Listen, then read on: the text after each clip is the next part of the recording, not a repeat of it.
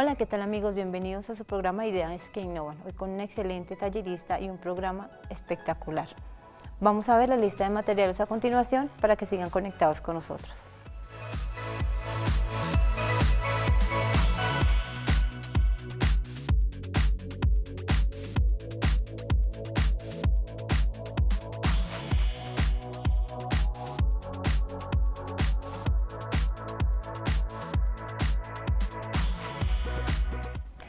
Bueno, ya vimos la lista de materiales, quiero presentarles a la excelente tallerista que tenemos el día de hoy. Bienvenida profesora, ¿cómo está? Hola Paola, muchas gracias por la invitación. Bueno, la profesora que nos acompañó hoy es la, tallerista Alejandra Prado. Vamos a trabajar la técnica de scrapbooking, ¿verdad, profe? Sí, básicamente hoy vamos a trabajar scrapbooking básico. Eh, vamos a hacer un mini álbum que es eh, el que tienes ahí es en forma de bolsito, es como uno de los favoritos de las, de las niñas en esta época, entonces de vacaciones, entonces eso es lo que vamos a aprender hoy. Bueno, sin más, vamos con los materiales ya listos y vamos a empezar a hacer nuestro proyecto. Profe, ¿con qué vamos a empezar? Bueno, para este proyecto necesitamos papel de diseño o cualquier papel que tengan con alguna forma interesante, que tengan que puedan reciclar. Yo soy fan del reciclaje, entonces digamos si tienen retazos nos funciona. ¿Qué vamos a hacer? Entonces vamos a escoger como una gama de colores, de papeles. Entonces acá, digamos, yo voy a escoger como azules, rosados, ¿sí? Entonces lo que voy a hacer es hacer una forma, como la forma del bolso que vemos ahí. Entonces ustedes pueden escoger cualquier forma que tengan en casa, puede ser un círculo, un cuadrado. Yo escogí unas formas que tienen como unos arabescos, que sea como más curvo y que me dé como esa sensación de bolso, pero pues eso está en cada uno, en la creatividad de cada uno.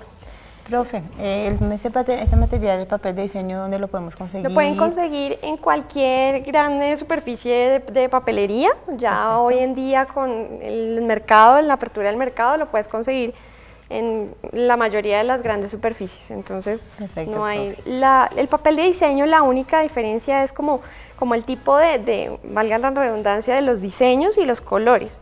Pero eh, si ya queremos ser como el, neto del scrapbooking, pues es un papel un poco más costoso, pero es porque es libre de ácido, lo que permite que las fotos no, no se amarillen con el tiempo, básicamente. Entonces está claro para ustedes que estamos empezando con el tema de scrapbooking el papel de diseño es básico cuando estamos hablando del scrapbooking. Bien, entonces cuando yo ya escogí como una forma con la que quiero hacer mi bolso o el álbum, entonces puedo tener dos opciones. Una o es calcarlos, entonces con un lápiz empiezo a calcar la forma. Este tipo de diseño, ya como lo dijo la tallerista, lo podemos encontrar en internet, si ustedes quieren círculos, arabescos, ya van la creatividad de cada uno de ustedes. En este caso vamos a trabajar pasando el diseño que previamente tenemos listo. Yo aquí ya lo calqué, entonces lo que puedo hacer es con las tijeras, común y corriente. Aquí la clave de recortar, yo sé que a muchos el punto de recortar no es tan chévere, pero la clave para mí de recortar es mover el papel y no las tijeras. Si se dan cuenta, mi mano izquierda va girando todo el, el papel y esas curvas que yo tengo ahí van a ser mucho más fáciles. Entonces, por ejemplo, acá, cojo aquí, abro mucho mi tijera y voy moviendo el, papel. el papel, correcto. algo básico e importante que acaba de decirnos la profesora es que debemos abrir muy bien las tijeras cuando vamos a hacer el corte en el papel. Gracias a ellas es que podemos hacer un corte perfecto pero el truco está en abrir muy bien la boca de las tijeras para poder que nos quede muy bien, muy bien terminado y no nos vaya a quedar morisqueado el papel. Exacto, la idea es que con, entre más abras, entonces menos vas a tener que volver a cerrar. Mira, todo lo que yo abro para poder completar esta curva. O sea, yo no estoy como mordisqueando, por decir así, el papel, que sería esto, sino completo. Y las curvas van a ser mucho más fáciles. Lo puedo hacer así o si yo ya quiero ver como el scrapbooking como algo más allá, un hobby ya permanente, entonces vamos a utilizar una máquina que se llama máquina troqueladora. Voy a hacer el ejemplo, digamos, esto se llama un troquel. Esto lo que hace es que pasa por una máquina, hace presión y corta el papel. Entonces la máquina, yo la tengo acá abajo, pero es esta. No tiene, ¿Cómo se llama, profe? Una máquina troqueladora. Perfecto. No tiene ningunos filos adentro ni nada, son simples rodillos que se apretan y, y hacen que corte el papel. Entonces, mira, yo aquí tengo, doy manivela, agarro acá para tener más soporte y ella hace todo el trabajo. saco, saco el sándwich, tiro. Acá yo ya tengo. ¿Cuál es la diferencia? Obviamente va a ser como el, nivel de, como de los bordes, va a ser más perfecto este, obviamente que el de la mano, pero pues son dos maneras de que ustedes pueden hacer esto, ¿listo? Como por arte de magia lo tenemos listo en un minuto con la máquina. Pero bueno, si en casa no lo tenemos, sí, lo tenemos hacer de manera manual, sí. como acabamos de explicar. Y exactamente. Entonces, cuando yo ya tengo esto, entonces aquí yo ya previamente tengo como mis formas ya ya escogidas y cortadas, ¿listo? Más o menos cuántas eh, hojitas troqueladas o con diseño se nos van. Entonces, para las portadas se nos van cuatro, o sea, una, una de frente, una detrás, es decir, esta y esta parte, ¿sí? Entonces ahí son cuatro. Y las internas pueden variar según la cantidad de hojas que ustedes quieran. Entonces más o menos podríamos hablar como de seis, que sería como lo, el nivel normal de un álbum, ¿sí? Pero si quieren hacerlo de 12, obviamente se extiende mucho. Mi sugerencia es que sea un nivel entre 6 y máximo 10. Máximo perfecto. En este álbum recuerden que ustedes eh, lo pueden hacer para sus pequeñas en casa o ellas mismas los pueden hacer para guardar fotos, recuerdos. Además es algo muy decorativo y muy lindo que ellas pueden llevar a todo lado también con sus recuerdos. Correcto. Bueno, esta es, esto que ven acá es una tabla que tiene unas, unas líneas, que esto en tarjetería es como para hacer los dobleces. Es simple, son herramientas para facilitar el trabajo, básicamente. Perfecto. Pero si no lo tengo, no importa, con una regla y un, y un esfero que ya no tenga tinta, lo pueden hacer. ¿Listo? Entonces, ¿qué voy a hacer? Necesito quitarle como un filito a esta forma. ¿Para qué? Para que sea la base de mi álbum, que es esta. Perfecto. Entonces, es un bordecito. Yo me voy a ayudar acá con esta, con esta, con esta tabla. Estamos hablando que le pueden quitar como medio centímetro a la forma que hayan escogido. Funciona para cualquiera de las formas, repito. Esto es para buscar un nivel para poder nivelar las hojas. Exacto, y para que ahí con el fuelle que tiene interno, pues se pueda sostener todas las hojas. Cuando ya tengo esto, entonces con las tijeras o con, o con guillotina, entonces corto.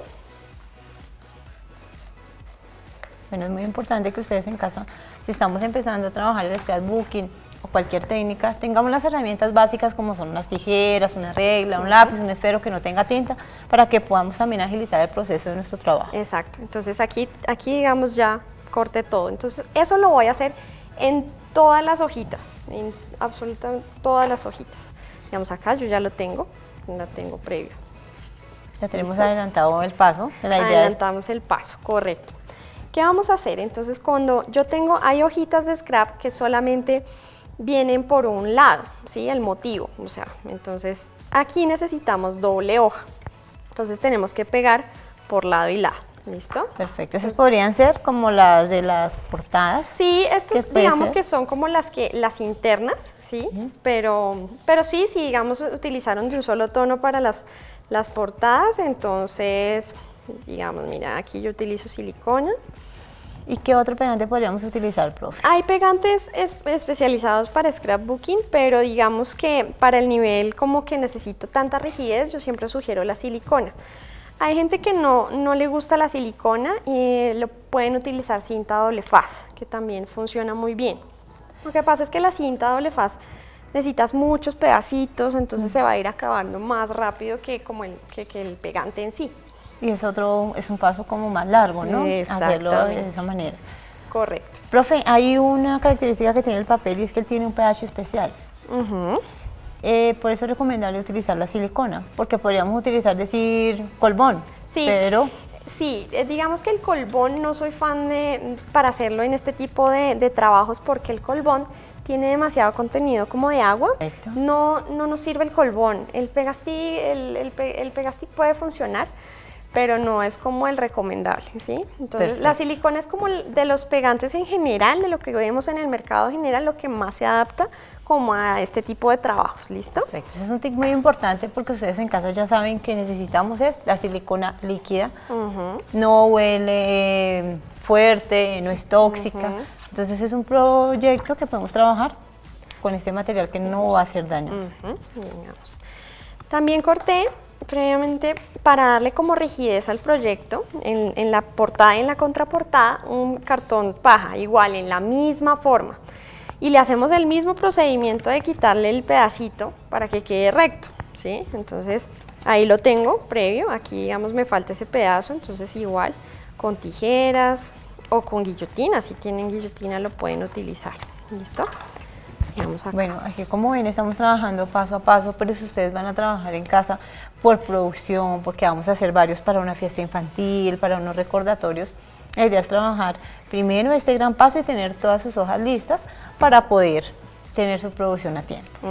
exactamente, entonces yo lo que hago es que escogí las que van a ser mi portada y las estoy pegando normal al, al cartón paja.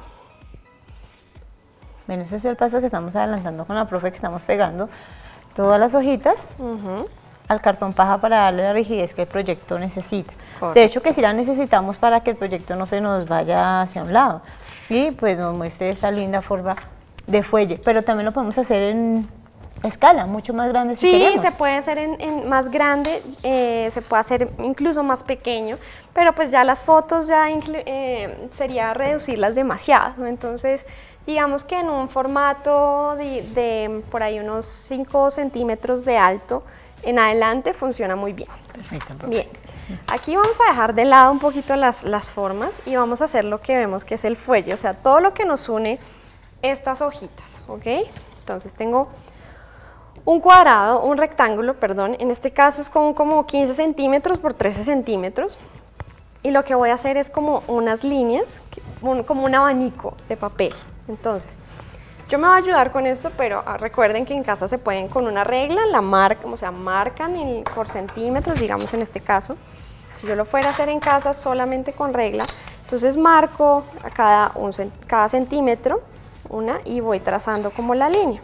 Perfecto. Con un esfero preferiblemente que no tenga que no tenga que mejor nos funciona para este tipo Exactamente. de Exactamente. Entonces, eso lo puedo hacer así. Yo me voy a ayudar para que sea un poco más ágil. Entonces lo voy a hacer, aquí esta tabla es por pulgadas, pero pues eh, lo hacemos por líneas. Entonces acá, cada media línea. Esa es la manera que vamos a hacer el acordeón o el fuelle que lleva la parte externa de nuestro proyecto. Bueno, profe, ¿qué otros eh, diseños, qué otros trabajos dicta usted, profe?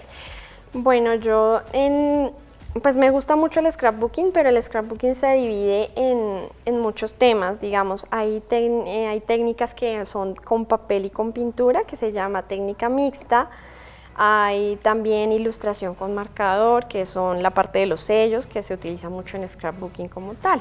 Entonces, yo trabajo toda esa, como esa línea, eso, todas esa, esas ramas en que se divide el scrapbooking. Perfecto. Bien, acá entonces miren, ya tengo todas las líneas y empiezo a hacer un abanico.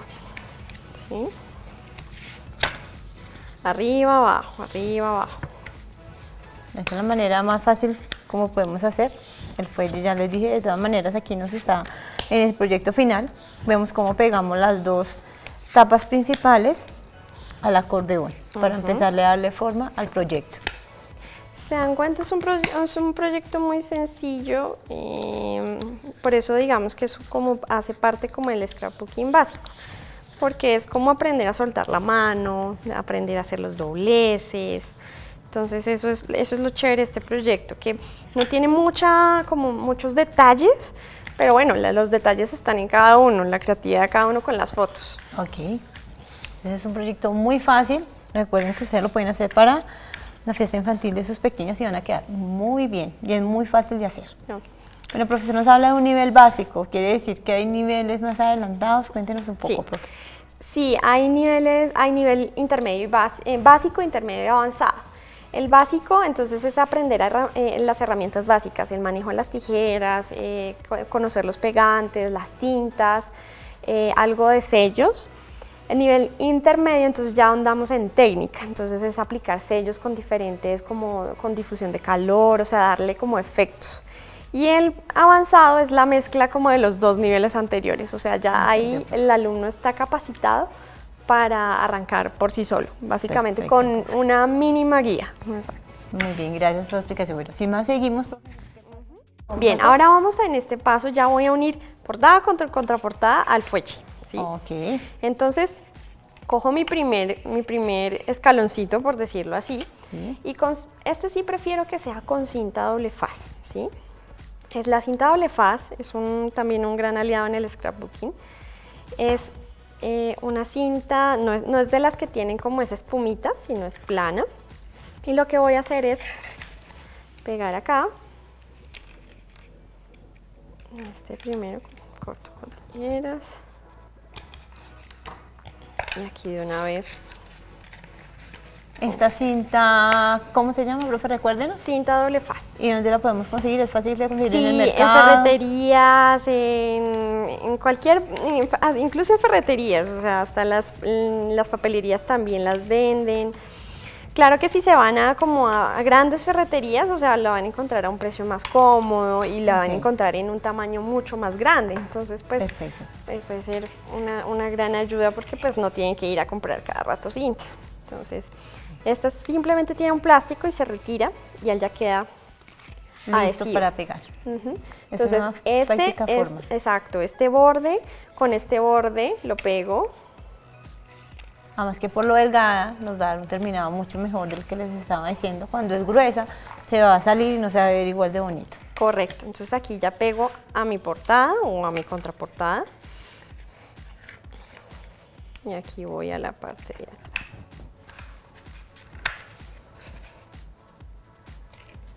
¿Listo? Siempre es importante primero agarrar como, como la portada y la contraportada antes que las hojas.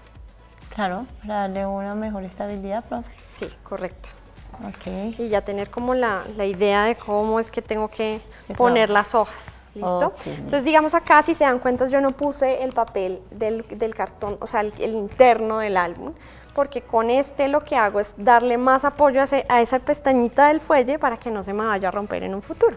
Eso, y por otro lado le, estamos dando un terminado perfecto al proyecto. Exactamente, sí, porque ese, ese bordecito no se ve tan agradable. Exactamente. Ah, Visualmente no se ve muy bonito. Sí, exacto. O sea, es, es bonito el fuelle, pero ya el terminado del filo sí no. Entonces aquí lo que hago es pegar. Y aquí mi otra hojita. Y voy a mi otra parte. Con la silicona, eso sí, lo único es como limpiar esas hebritas que se nos, que se nos hacen, que son un poquito incómodas, pero Pero cuando trabajamos con silicona eso es lo que sucede, pero pues no es nada, realmente No, es sencillamente sí. quitarlas y ya Es como la silicona caliente, igual, funciona igual. es- Exactamente. pues, ahí es tener el trabajo muy pulcro, que si va- estemos seguras de dónde vamos a aplicar, a dónde poner el, el pedazo de papel. También. Si empezamos a bailar, ahí sí, entonces el pegante se va a empezar a secar y voy a tener más hebras. ¿Listo? Profe, expliquemos cómo va una parte de adentro Sí. para Claro que poder sí. ya mostrar nuestro proyecto final. profe. Ok, perfecto. Mira, entonces, ¿cómo adhiero esas hojitas? Entonces yo siempre le digo como una sí, una no. Si ustedes se dan cuenta, hay unos como unos vértices, como unas escaleritas. Entonces, voy a contar con la, con la pestaña. Esta sí, esta no, esta sí. Entonces, aquí lo que tendría que hacer es con cinta, doble faz, corto un pedazo, no importa si es un poquito más corta de lo que es de lo que es el álbum. Pongo acá. Y vamos a empezar a Y entonces nuestras hojitas. filo a eso y miren acá. Y ahí ya empiezo a armar. Sí, Perfecto, profe. ¿sí? Entonces empiezo con cada hoja. Digamos, Listo, profe. Eh, sin más, por favor, cuéntenos dónde la podemos contactar para los proyectos, para que puedan tomar cursos con usted, por favor. Bien, yo estoy ubicada en Bogotá. eh, me pueden conseguir a través de la- mi página en Facebook, se llama Crafty, Craft, hecho a mano. Em, si no, a mi celular, el 311-445-3017. Bueno, profe, nosotros le agradecemos mucho que haya venido el día de hoy a nuestro programa. Y a todos ustedes, gracias por acompañarlos. Los invitamos a que sigan viendo los programas que tenemos en el canal de YouTube. Y nos vemos en una próxima oportunidad. Chao amigos.